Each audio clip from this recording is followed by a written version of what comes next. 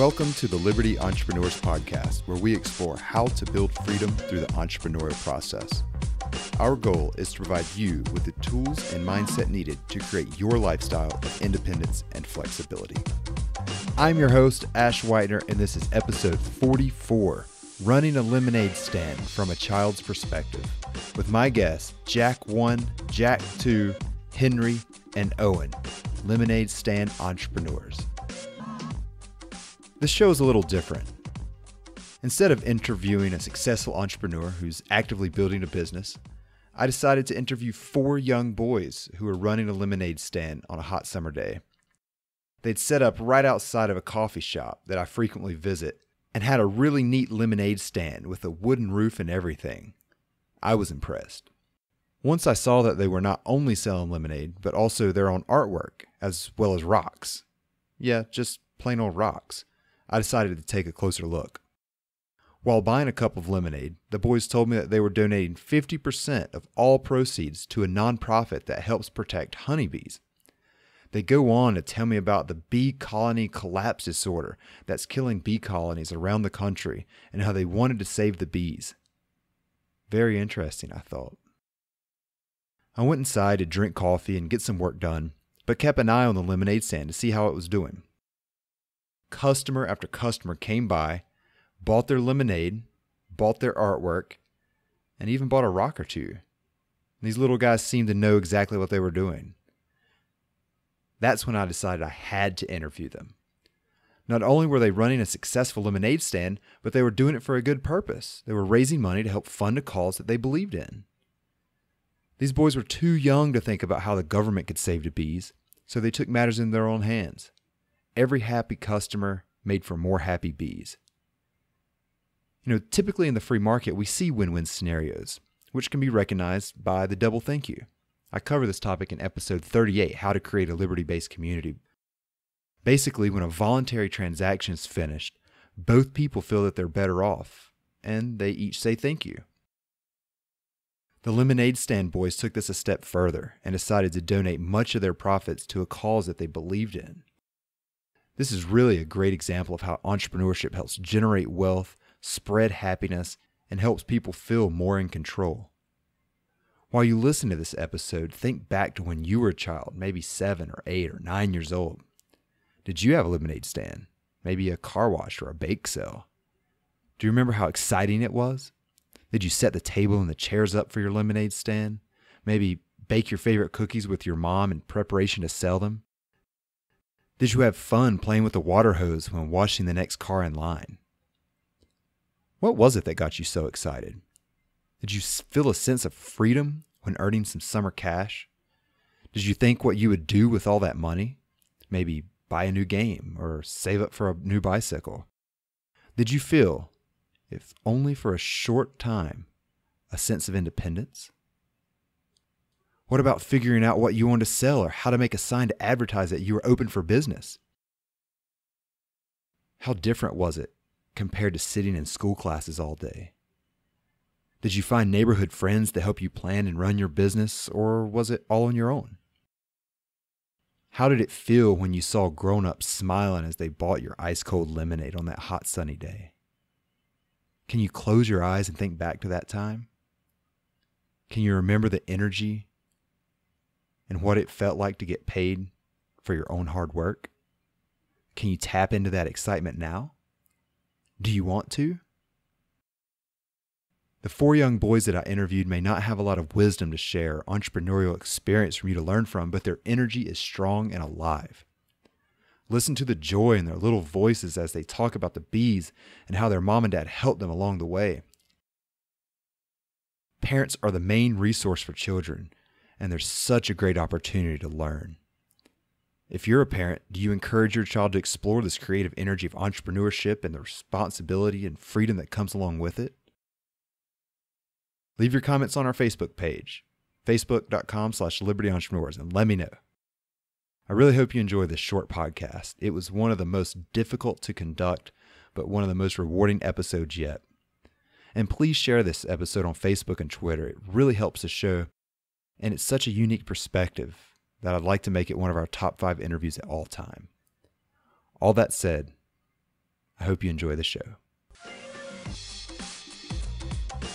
Welcome back to a very special episode of Liberty Entrepreneurs. This is your host, Ash. I am here today with Jack 1, Jack 2, as well as Henry and Owen. How are you guys doing? Good. Good. Good. All right, come here, Owen. How you doing, buddy? Good. All right, so we're out here selling lemonade in downtown Denver on 17th Street.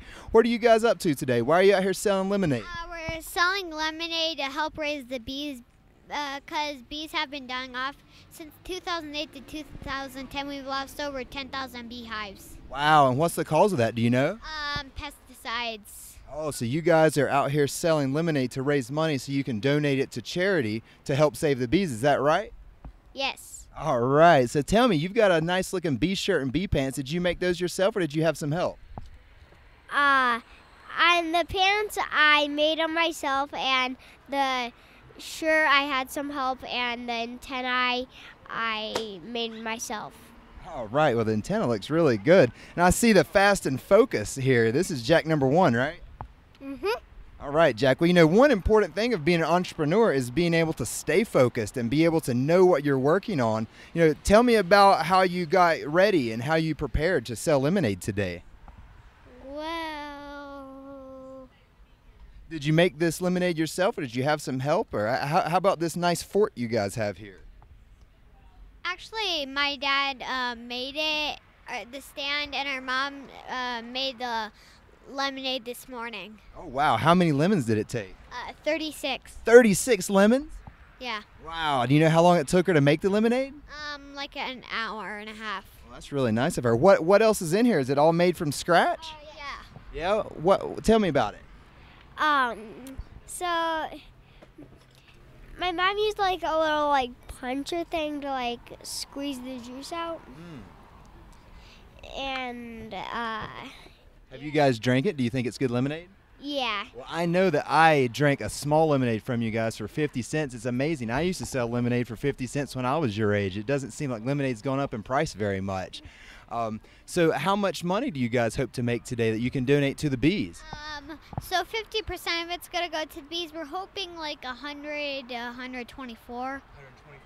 Yeah. Yeah, that's really great. You know, whenever I was selling lemonade back in the 80s, I would say I, if I made $10, I was doing good. But we didn't have a nice restaurant to be out front. And back then, it was just in our street. Um, so, you guys don't only sell lemonade, do you? What else do you sell, Jack? We, We sell rocks and pictures. Okay, or is this artwork that you guys have made yourself? Yes. yes.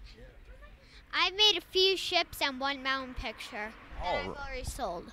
You've already sold them. How much are you selling your artwork for? Uh, three bucks. Three bucks. Man, that looks good, guys. Did you all make artwork or is it just yours? Uh, mine and Henry's. Henry, tell me about your artwork, man. What's your favorite thing to draw? I made a praying mantis and a penguin. Uh, the praying mantis is in front of the flower.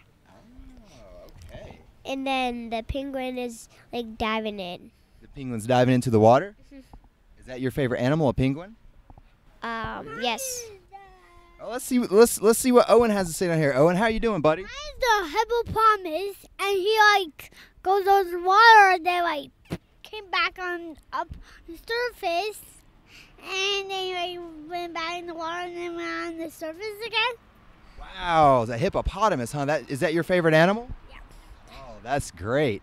Well, guys, tell me about the rocks here. I see you're selling rocks for a dollar, but what's really interesting as rocks for old people. Oh, I see it's been changed to senior citizens. I like old people better. Rocks for old people was 25 cents. That's a big discount, isn't it, fellas? And I think old people were 40 years or older. Why, why did you guys decide to discount the rocks, make them cheaper for older people?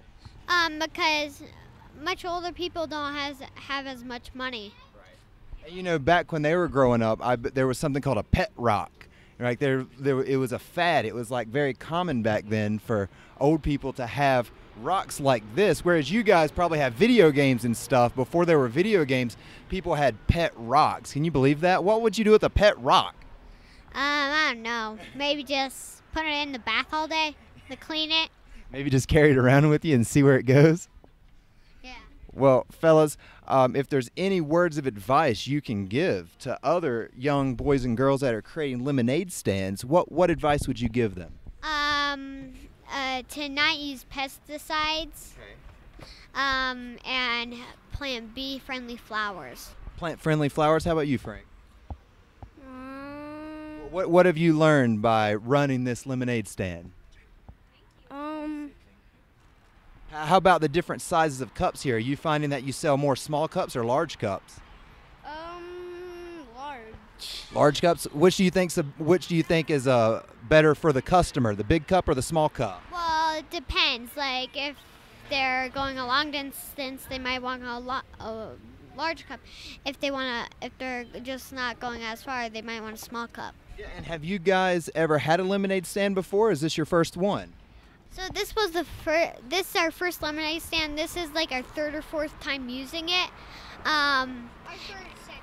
yeah, third or second. Um, and we've had a whole lot of fun. Last time we didn't raise too much because that was on a Saturday. So you guys came out here on a Friday morning and afternoon, hopefully to get some of the people walking and bicycling by. This is a good spot. You know, this place gets really crowded. It's got a nice porch out there, and a lot of people come by here on bicycles. I'm sure they're going to be thirsty. Yeah, we got at least like we got like sixty dollars. And like fifteen people. 50 people so far bought lemonade from you. How much money have you guys made so far? Do you know? No, but we made probably like yeah, sixty so far. Well, I'm really proud of you guys for coming out here. This is called entrepreneurship, right? Whenever you build a business, and ultimately you guys are helping people that are thirsty, right? And you're helping quench their thirst, and in turn, when they pay you, they're helping you guys save the bees. So it's a very win-win opportunity, isn't it? Yeah. Yeah, well, thank you guys so much. I hope you make a lot of money today. And I'll let you guys know whenever I post this interview on my website. You've got my card right there. So take a look on my website and let me know what you think, okay, fellas? Okay. Appreciate you guys coming on the show today. Um, um, yeah, I'm going to say, uh, define Dory. Find Dory? All right. Well, everybody, we're finding Dory. Thank you, fellas. Thank you for coming on. Thank you. Thank you. Thank you. All right. Bye bye, guys. And that's a wrap. A couple of elementary school boys out on a hot summer day trying to sell some lemonade to raise money to save the bees. It's really that simple. And they know they're making a difference. They ended up raising over $150 that day. 75 of that goes to the bees, and then the boys get to split the rest of it. Again, if you don't mind, please share this episode. I've never heard lemonade stand kids interviewed before. So let's get it out there. As always, thank you so much for listening and tune in again next week for another episode of Liberty Entrepreneurs. And until then, keep building freedom.